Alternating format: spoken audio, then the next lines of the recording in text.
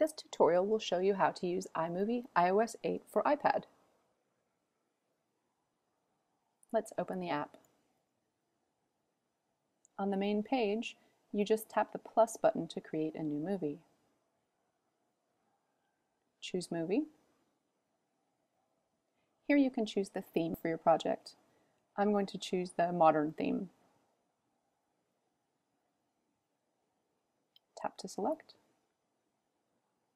This is the editing screen. It's got three important parts, view window, media window, and timeline. There's a little help button at the top that'll show you some tips if you need them.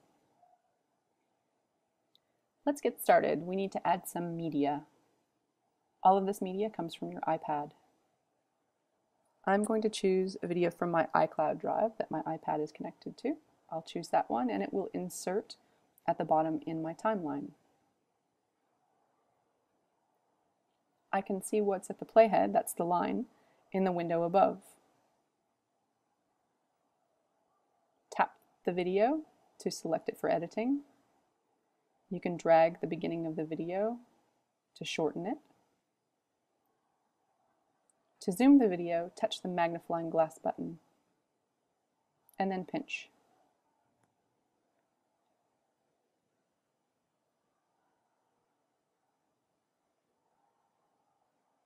Now the whole video is zoomed.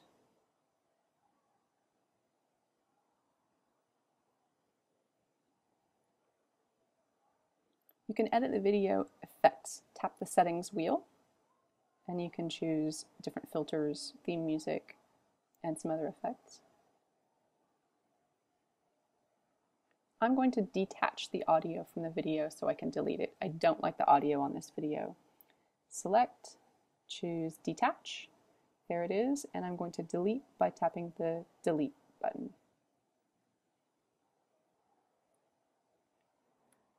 Video and photos are deleted the same way. Select and tap delete. I'm going to split the video clip and add a photo in the middle of it. So where I want to split it, I'm going to put on the playhead, and then I'm going to choose split, so now you can see it's in two pieces and I can edit the two pieces separately. I can also choose transitions between the video clips. I can select the transition box and then choose what kind of transition I want. Each theme has a different one, and there are some others you can choose from. You can also change the speed of the clip. Choose the clock button and then slow down or speed up the clip. You can add titles by choosing the T button. Just choose which one you'd like, and you'll see the text boxes up in the view window. Select and type your title.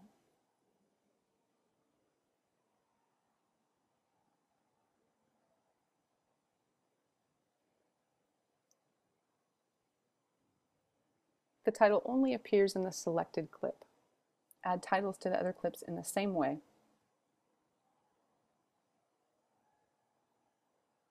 There's another video effects button on the bottom left. Now I'm going to add a photo between the video clips. So in the media window, I'll choose photos, I'll choose the one I want. I put the playhead in the place I want to add it, and it will add right where the playhead is. Now I've got a still photo between my videos. And another one.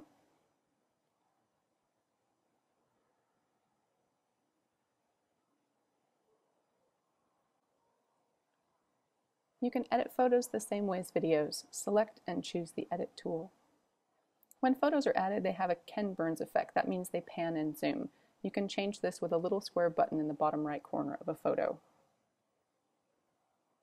You choose the beginning point and the end point, and then pinch the photo to zoom and pan. You can also adjust the start and the end of the zoom to be in the same place so that it has no zoom or pan. That's what I'm doing here.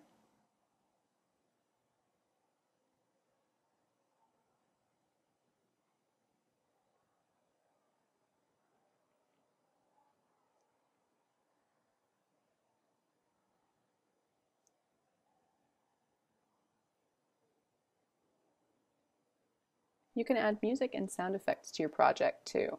In the media area, select audio. If you choose music, it will apply to the whole project. If you choose sound effects, you can apply them where you want them. The music automatically loops when it reaches the end, so it continues to the end of the video, no matter how long it is. You can add voiceover using the microphone button as well. To save, exit the project, saves automatically, Tap the title bar to edit the name of your video.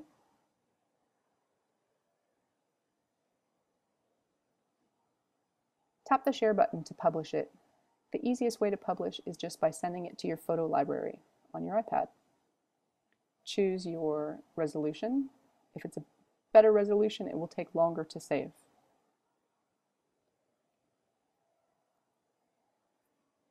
Okay, now it's in my photo library. Let's go take a look.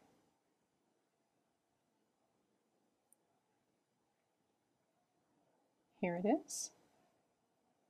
Let's open and play.